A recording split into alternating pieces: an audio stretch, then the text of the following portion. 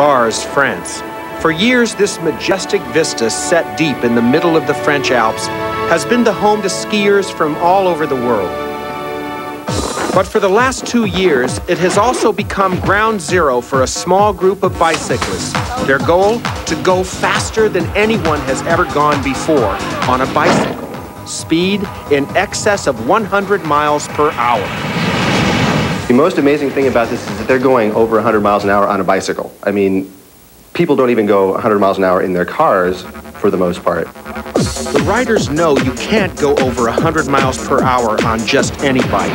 A world record depends on guts and science. What started as ordinary mountain bikes have been modified into $20,000 aerodynamic bullets.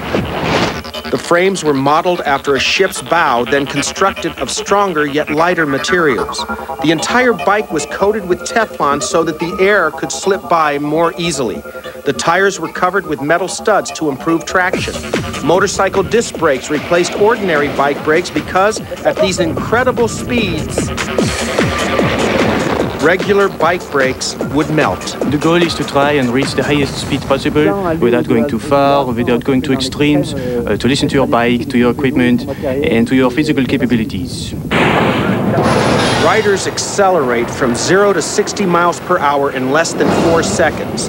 That's two and a half times faster than an automobile. In 13 seconds, they cross the finish line, but the race isn't over yet. The rider's life is still in danger. Riders have less than 10 seconds to stop the bike, but they can't slam on the brakes. They have to gradually increase the pressure, being careful not to put the bike into a skid. It is an imperfect science at best.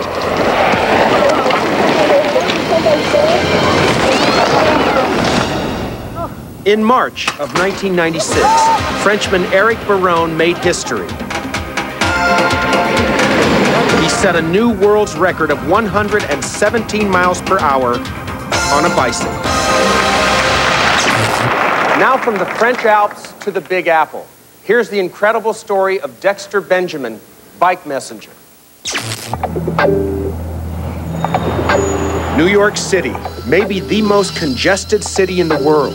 In the heart of the hustle and bustle, well over a thousand bike messengers negotiate the concrete canyons at breakneck speeds, earning an average of $125 a day. For the most part, they are ordinary people on ordinary bikes. But 32 year old Dexter Benjamin is anything but ordinary.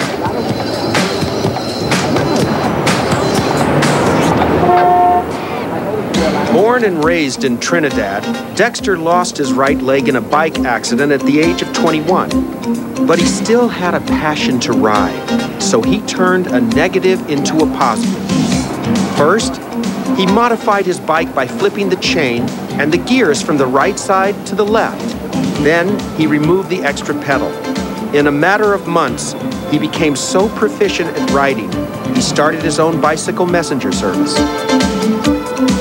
Well, from first it was hard because um, I was scared of the traffic.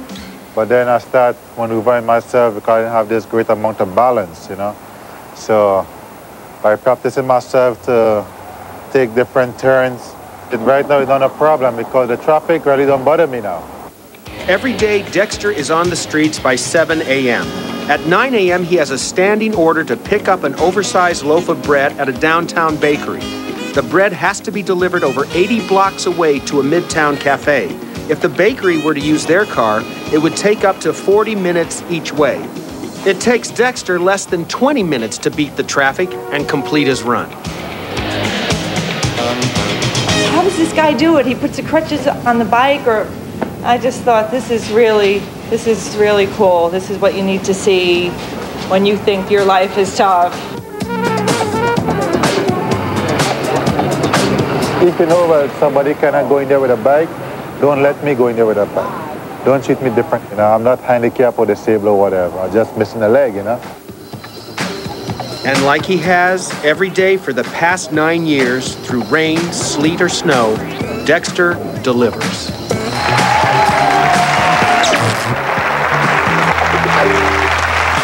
This is Jay Miron, a member of the Schwinn bicycle stunt team. Jay is a three-time world champion and the 1995 Extreme Games jumping champion. Tonight, on our stage, Jay is going to go beyond extreme. Tell everybody what you're going to do. I'm going to throw a double back. For those of you who are not as well versed in contemporary bike lingo as yours truly, I'll translate. Jay is going to propel himself high enough to execute two complete backflips in midair then land on his wheels. Many extreme riders have tried, and to our knowledge, no one has ever made it. Jay, what are the dangers of what you're about to do? Well, obviously, as soon as you go upside down, there's the risk of breaking a neck. Uh, this is upside down two times, so it's two twice times. as dangerous. Well, good luck. Are you ready to go? Yeah, I'm ready to go. Take off. Thanks. Jay's extraordinary stunt doesn't begin here. It starts up there. In order for Jay to generate enough speed to complete the double back, he will have to use every inch of our studio, a diagonal distance equal to a 15-story building. Jay's designed a special two-story high ramp with a 65-degree vertical drop where Jay Spotter is standing right now. Jay will charge down from the top of the ramp through our audience, hopefully hitting our studio floor with enough velocity to vault himself 25 feet in the air off what riders call a box jump, a six foot high, 32 foot long structure that Jay has placed dead center in the middle of our studio. At the highest point of his jump, Jay will be less than five feet from the top of our studio, and that should give him enough time to complete the two backflips. Midway through the second flip, Jay must instantly calculate his height, speed, and position as he approaches the landing site. Now, if all goes well, his back tire will hit first, like an airplane, on the angled backside of the box jump. After landing, Jay will have just under 50 feet to regain control of his bicycle. For Jay to stop safely and to safeguard our audience in the event that something goes wrong, we place a 12-inch thick protective padding on the box jump, and we have emergency medical personnel standing by. All right, Jay, the stage is set. Good luck, and be careful. Oh, deuce.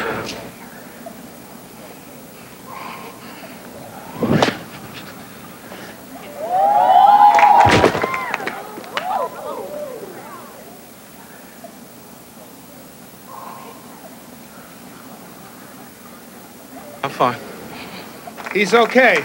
Let's hear it for him.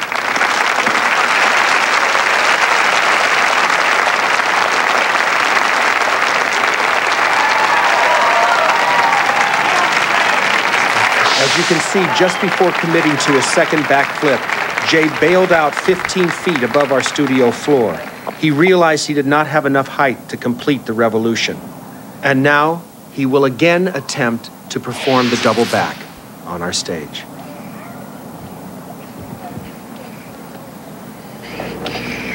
Come in.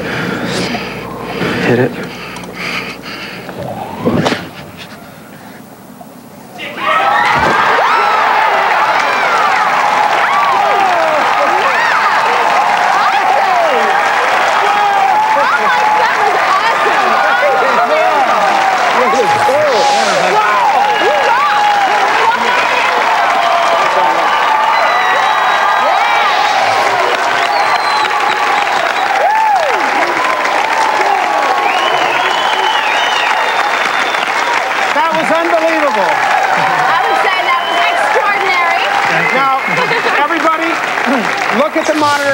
Watch the TV, we're going to show an instant replay of this in slow motion. What do you think was going through uh, First your mind? crank's important. I come down to the bottom, I get a good pump, hit the crank hard.